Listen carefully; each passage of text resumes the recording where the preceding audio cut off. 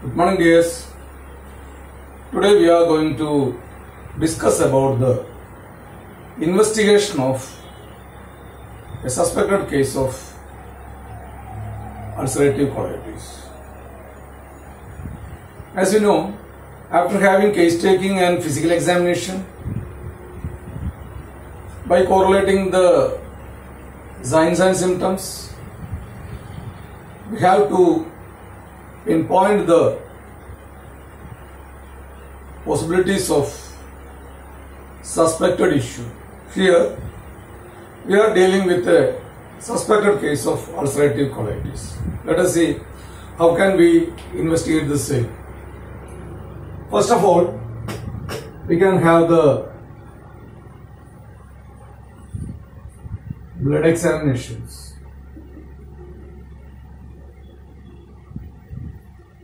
By doing a complete blood count analysis, we can study the status of the blood, that means the health of our patient, specifically by checking the number one complete blood count with a specific investigation for hemoglobin percentage. That means in patient with the ulcerative colitis, our patient is very pale, exhausted, fatigue. That means symptoms of anemia. That may be due to usually any bleeding in internal bleeding in the colon or occult blood in the stool. In such condition, usually we have to check the hemoglobin percentage, then to assess the status, total count, then WBC, then ESR, etc. More than the routine examinations, we can do the CRP evaluations. What is the indication of uh, CRP? Whether the CRP is more sensitive or less sensitive than that of our uh, uh, routine ESR. To have an abnormal ESR, it may take a little bit more time. But any infection or uh, inflammation will give a positive abnormal level of CRP. That means CRP is more sensitive and specific than that of the ESR. And in case of ulcerative colitis, there is a great loss of uh, serum vitamin, especially B12, then serum iron levels. So due to the status pathology, there is maldigestion, malabsorption, maltransportation and malutilization. Because of all this issue, our pa uh, patient may be very uh, with uh, hypovitaminosis, especially with uh, vitamin B12 and due to severe anemia, the serum iron level will be very, very low. So, in such condition, a primary investigations with the blood can be with a uh, complete blood count, then hemoglobin, then TC, DC, then ESR, then CRP, vitamin B12 and serum iron. And specific with uh, ulcerative colitis,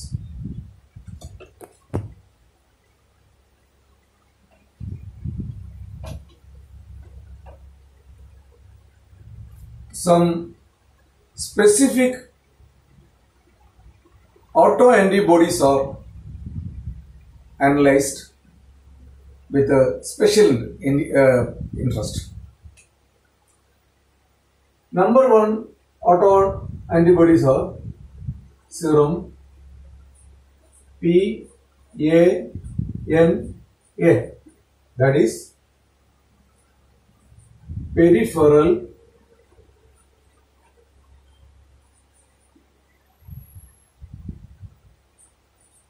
anti-nuclear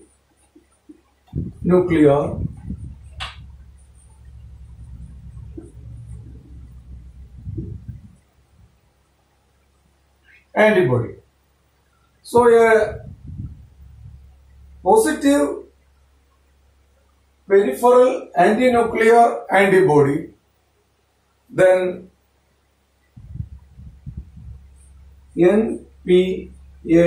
NPANA. What it is? It is nothing but neutrophil specific peripheral anti-nuclear antibody. Okay. Then PANA, then NPANA, then by doing ELISA. What it is? Enzyme linked immunosorbent assay. So, by doing such a very sensitive and specific test, we can pinpoint the possibility of ulcerative colitis in a suspected cases. More than that, we can have the stool culture. Please wait.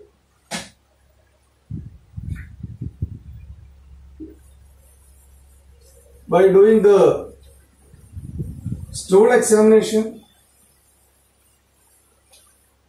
you can evaluate the next about the stool. Whether there any possibility of occult blood,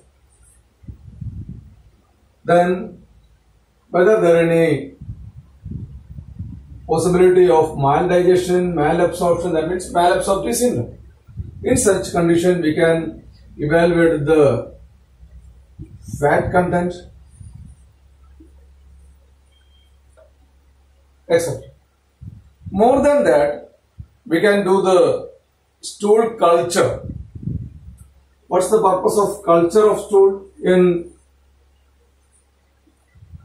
ulcerative colitis?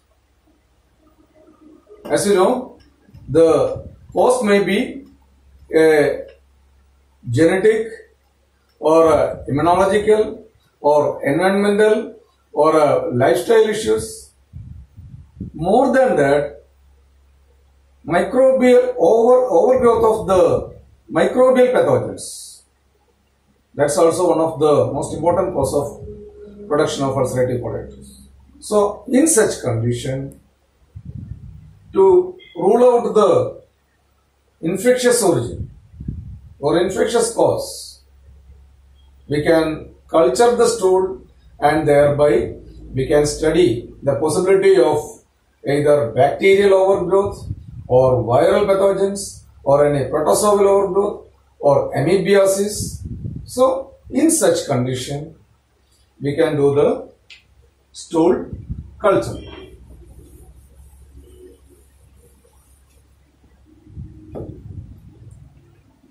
Next about the invasive techniques. Scopical examinations. Scopical examinations. Which are the scopical examinations? Number one is we can do a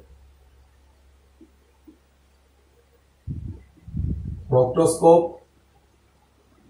That means when the portion of the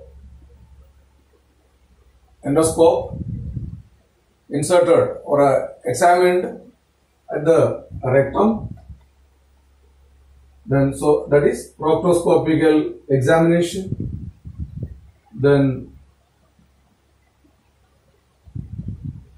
sigmoidoscopical examinations then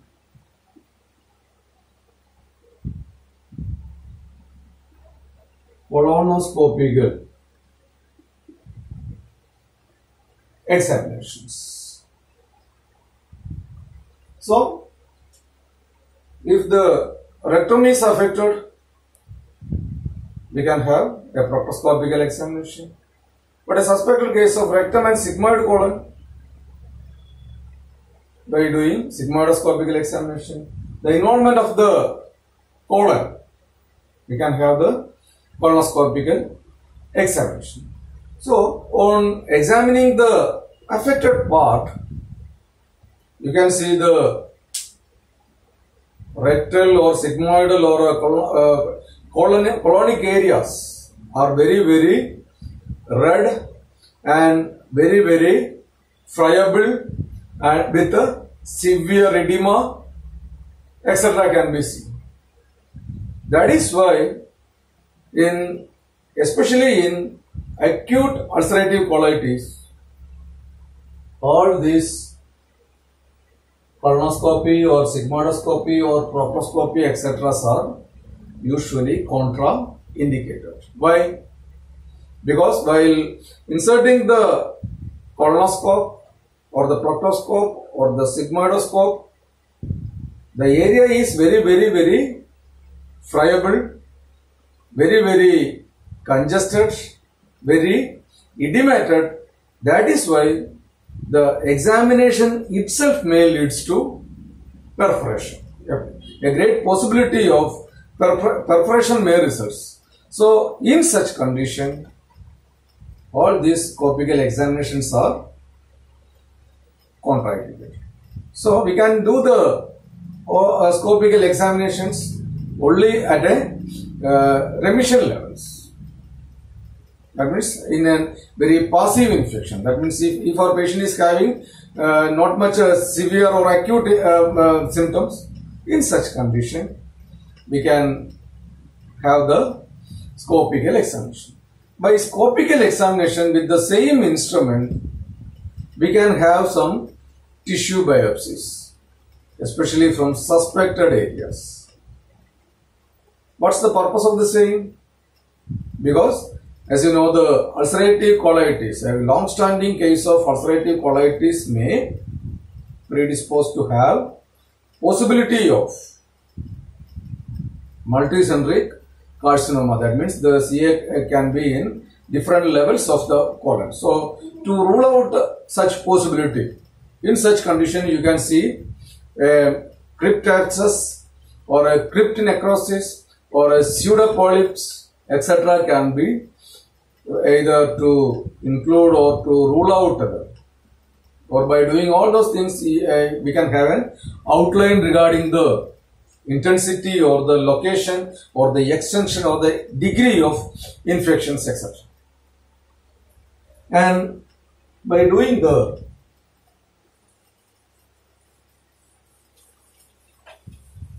next level investigation that is DCBE what it is it is nothing but double contrast barium in enema. So, by doing the double contrast barium enema, we can outline the severity and uh, extent of that means uh, whether the ulcerative is extending from uh, whether it is limited only to the rectum or it uh, extends to the sigmoid colon or whether it to the left sided colon or the total colon. So the extension of the pathology and degree of pathology. What about the degree? What, what do you mean by the degree of pathology? As you know, first of all, there is inflammation, there is edema, there is necrosis, there is a, a cryptoabscess, etc. And as the pathology advances, you know that there is a possibility of hyperplasia, then fibrosis, then cicatrization, then calcification. So, all this pathology may result in a shrunken colon that is lead pipe colon and extreme degree of fibrosis you know that there is a possibility of stricture formations or nidus formation or a possibility of perforation. So, all these uh, um, uh, conditions can be seen in particularly in case um, with a lead pipe colon. That means the total fibrosis of the colon, total length and the width of the colon may getting shrinked. And the uh, uh, mucosal layer of the colon is very, very um, uh, roughened areas. Something like that, the um, lead pipe. That is why the colon is named as lead pipe colon. So, in such condition, uh, DCBM is very, very helpful. Next about the X-ray.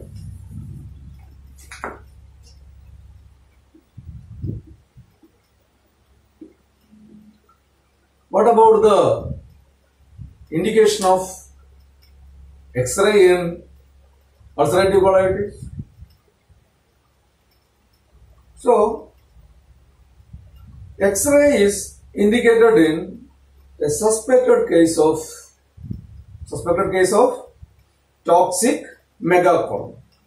As you know, the size of a normal width of a human colon is less than 6 centimeter. That means uh, our width of the colon is only up to this much, a very small uh, uh, 6 centimeter. 6 centimeter is only this much. 6 centimeter.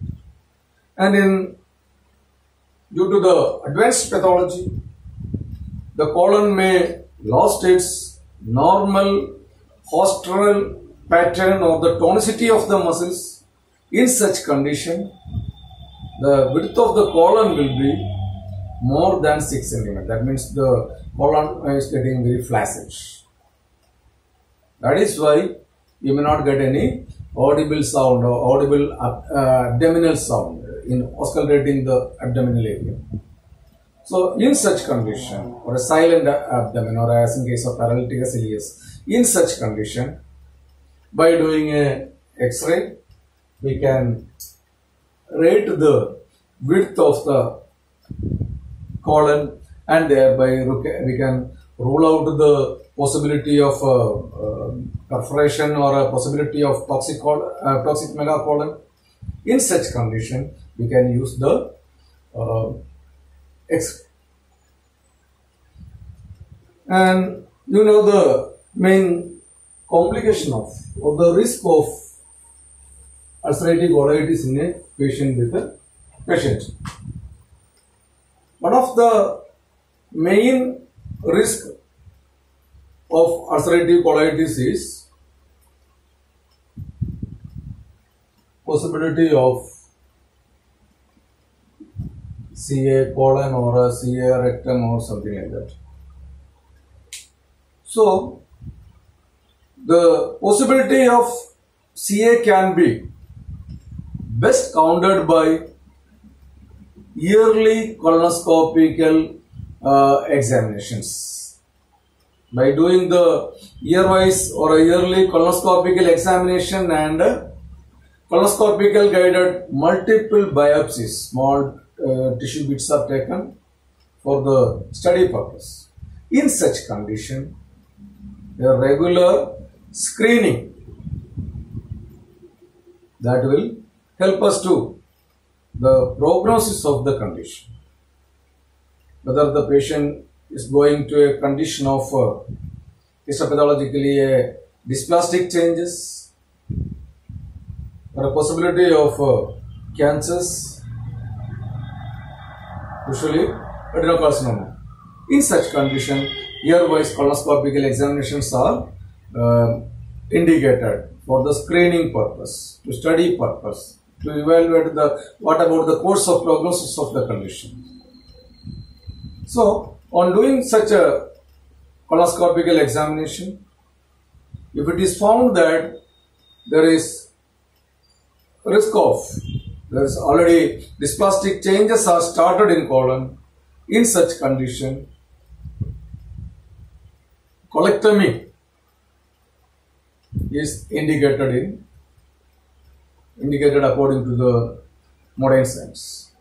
So that is why by doing all these uh, investigations or uh, needed investigations, we can study the possibility, we can study the prognosis, we can opt the management and the treatment of a case of ulcerative colitis.